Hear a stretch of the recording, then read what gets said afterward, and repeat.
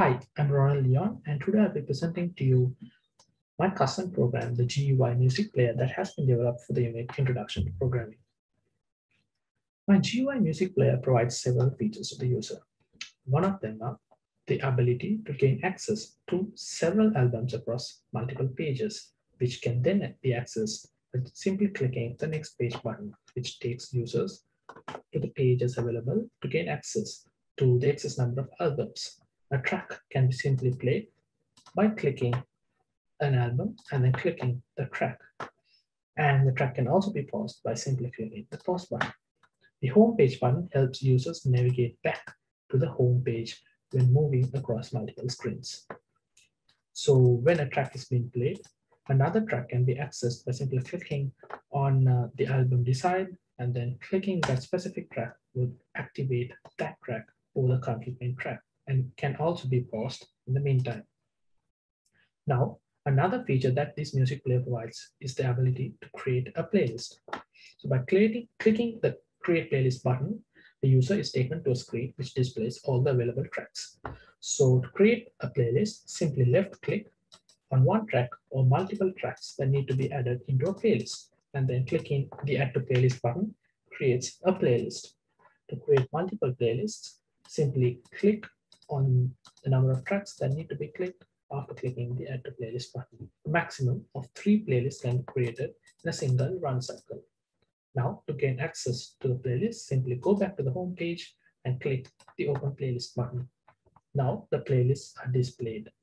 So to gain access to the tracks stored within the playlist, simply click on one of the playlists and by clicking on play my songs, the top track is then played.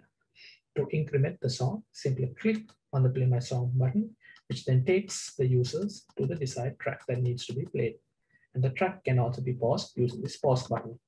Now to go back to the home page, simply click on the home page button, which takes the users back to the home page. Then another feature that's also provided is the ability to search for a track.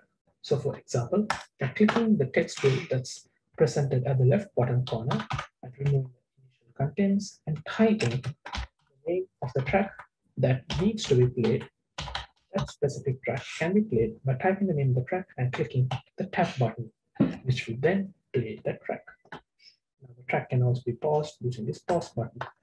Any specific track can be searched using the text field search option.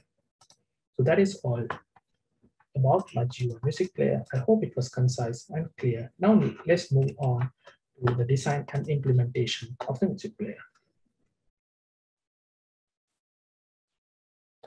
So now let's have a look at uh, the approach taken to program the music player.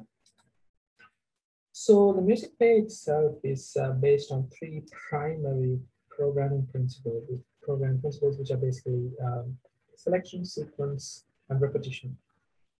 Uh, so for example, let's have a look at this function for albums, which uh, utilizes several if statements and while loops to draw albums across two rows and across multiple pages. So the if statement here allows us to determine uh, the button state. So if uh, the open playlist button has been created or if the create playlist button has been created, in that case, albums are not drawn. So in, to, to implement repetition, I've used two while loops over here, which draws albums across two uh, rows and the row with the set to so that we can create a two by two grid of four albums. Uh, so moving on, let's have a look at some of the other functions. Uh, so to check the sensitivity, sensitivity of uh, the album that has been selected, I have implemented similar types of principles to determine the album that has been created or the page that we are in. So for example, if the next page button is clicked, then the page is incremented. So that is done by selection. And then I've used two while loops again to determine which album album has been clicked so that we can draw the tracks that have that are assigned to that specific album. So these two while loops basically loop, around, loop around two rows and I've done that by incrementing the x coordinate, which checks the, uh, and this if statement basically checks the x range and the y range and determines which album has been clicked. So those are some of the primary principles that have been used for programming the music player. And then finally, let's have a look at the functional decomposition, which has been used to create playlists. So if we have a look at this function make lists, it has been used or it has it uses a, a class called playlists. So this class basically allows us to store multiple tracks, the name of the playlists, uh, and a unique ID for specific playlists. So to store the track, I'm calling um, a function called readlists. So that allows us to obtain uh, a specific playlist and assign attributes to that playlist. So I return uh, a single playlist as soon as uh, the function readlist is called. And this also makes it much more readable and a similar approach is taken to read tracks from albums that uh, are used to play a specific song. So now let's have a look at the object-oriented programming principles that are used.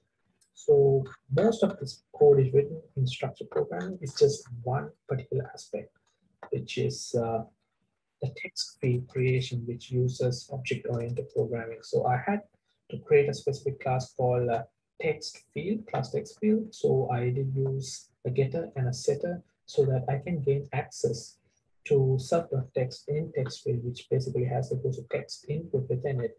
And then I created an instance of a text field within the class demo window to gain access to subtext text. And then I did a hit check to uh, compare the name of a specific track with the input string so that I could play uh, a search track. But uh, so otherwise, all the other code were written in structured programming and uh, this bit of object-oriented programming was also implemented to elevate this code to higher distinction level. But um, otherwise, that was uh, all about a summary of the coding approach taken to develop this music player. Thank you.